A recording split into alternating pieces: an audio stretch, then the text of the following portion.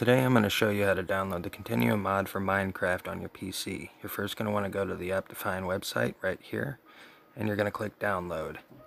Once you click download it's going to pull up the screen and you're going to have to just wait a couple seconds. And once you finally get to the option to skip you're just going to skip that right there. And then of course you're going to click download right there. And you're going to wait for it to download. In the bottom left it might give you the option to keep or delete. Obviously you're going to keep it. And then you're just going to wait for that to finish downloading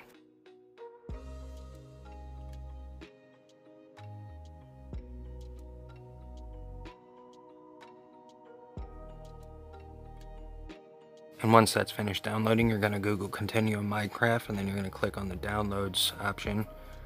And then you're to download Continuum 2.0.4. As you can see, I've already downloaded it. There's a zip file right down there.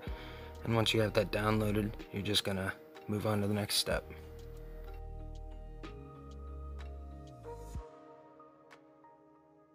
And then once those two are finished downloading, you're going to go to your downloads folder, locate your continuum zip. As you can see, I already screwed up. You're going to put that and the optifine.jar file on your desktop.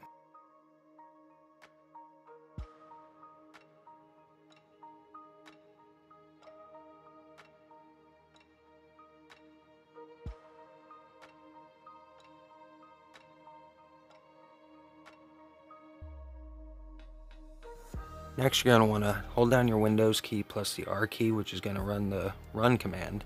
And then you're going to type in app data, exactly how I typed it in right here. And you're going to hit OK. It's going to pull up your roaming folder. You're going to locate your .minecraft folder. then you're going to click on it. Inside .minecraft, you're going to go down to versions, click on that.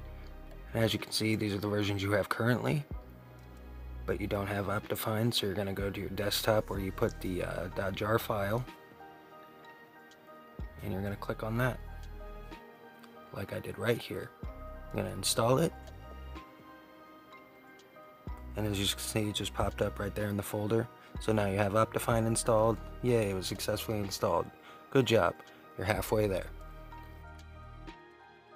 Now, if you had Minecraft open already before you did all this, go on ahead and close it, because if you go to versions now, you're just going to see the versions that you had before you installed this. So reopen Minecraft. Once you got that opened up, you're going to see now when you click down in the versions that you'll have the Optifine option. So you're going to click on that, and then you're going to hit play. And once you hit play, it's going to load it up.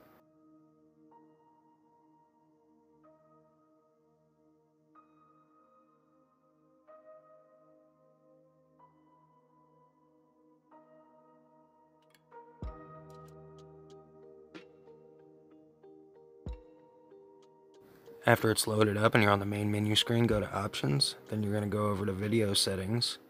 Once you click on Video Settings, you're going to go down to Shaders. and go down to the bottom left for Shaders folder. Click on that. Now you're in the Shader Pack folder, and as you can see, there's nothing there. But now you're going to take the Continuum WinRAR file, the zip file. You're going to drag and drop that right on into that folder. Now once that's dragged and dropped, you can see it's right there now. Go on ahead and click on that. At least I had to click on it and once you click on it it's gonna load it up like that. Bada bing bada boom. Takes a couple of seconds. And you're good to go. Now go down to done done done. Single player. I just clicked on my first save file which is survival mode but just for the uh, for the video I just wanted to get a quick look at the shader pack. As you can see once it's loaded in takes a second. Boom it is loaded up and it's looking beautiful. Thank you so much for tuning into this video. I'm Alex with Shirley Network. Please like, comment, and subscribe for more videos, and uh, I'll see you in the next one. Bye!